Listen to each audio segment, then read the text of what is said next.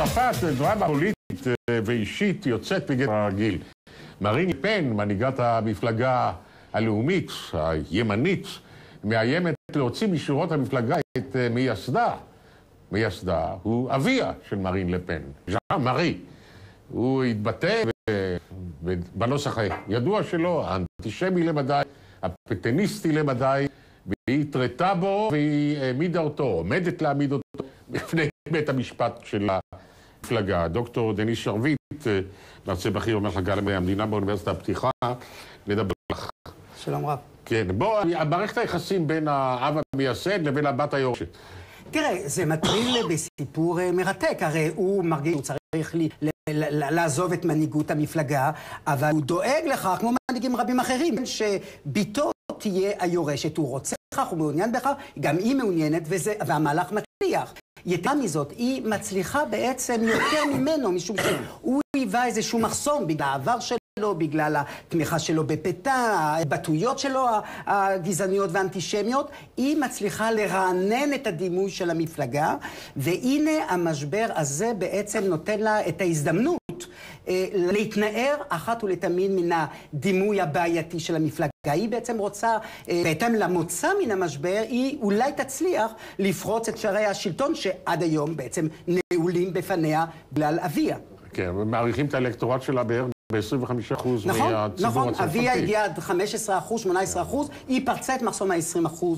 עכשיו, לכך מתווספת גם דרמה אידיאולוגית, משום שבעצם מה שעומד על כף המאזניים זה הסיכוי של מפלגה ששורשה באמת מזוהמים לחלוטין, להתנער מן, ה, מן הדימויים הללו, מן העבר הזה, ואולי היא תצליח בכך בהתאם להחלטה שלה, אם לא להדיח אותו מן המפלגה, אבל לא לתת לו עוד תפקיד.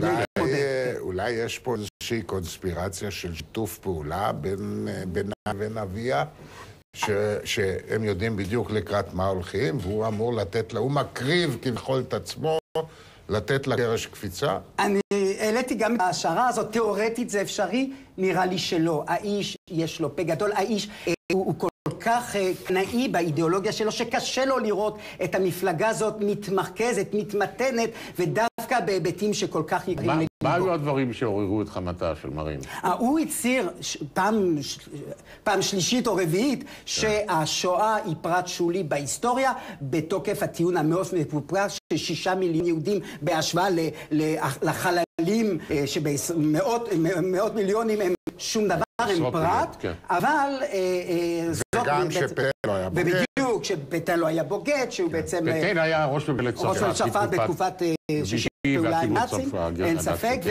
והיא מבחינתה, אז היא כבר התנערה, היא אמרה, אלה טעויות פוליטיות, זה לא פעם ראשונה שהיא צריכה לתת הצהרה מן הסוג הזה, הפעם היא מבינה שזה הכל או לא כלום, וכאן יש באמת דרמה משפחתית, משום שאותו אב שהמליך את פתאום, הנה עכשיו היא מתקוממת נגדו. והוא אמר משהו בצרפתית בערך כמו מהצייך ומחריבייך ממרצהו. נכון, גם אתה ברוטוס, כן? אבל היא צריכה גם לסלק אותו מהמפלגה, כי הוא רוצה לרוץ לראשות אחד האזורים. זהו, אז יש בעצם שתי אפשרות. אפשרות אחת היא שהיא תדיח אותה, תדיח אותו מן המפלגה, אבל היא חושבת ממשבר פנימי בשורות המפלגה.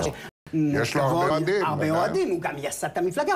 המפלגה הזאת הייתה 0.1% בשנות ה-70. אה, הצליח להפוך אותה למפלגה שלישית, רביעית, אפילו מפלגה ראשונה בבחירות לפרלמנט האירופי. אז את זה אני מניח שהיא לא תעשה, מה שכן, היא תבקש ממנו שלא להתמד, והוא כבר רמז לך שאולי הוא יקריב את